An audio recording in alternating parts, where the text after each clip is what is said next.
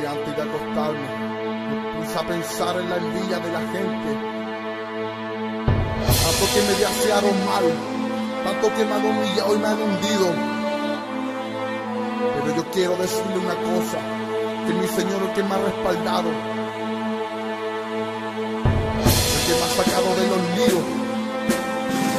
Esta es mi forma de desahogarme contra aquellos que estuvieron en mi contra. Hoy aquí les demuestro lo que ellos nunca, nunca vieron, porque el miedo se les nota desde ahora, el miedo se les nota desde antes, pero ¿saben qué?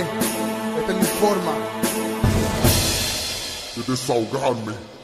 Muchos sueñan con que me quite y que deje de cantar y que me deje de guerrear porque nunca voy a ganar. Me han humillado, me han hundido para sentirme bien vacío, pero creen que mi vida la pasó metido en lío.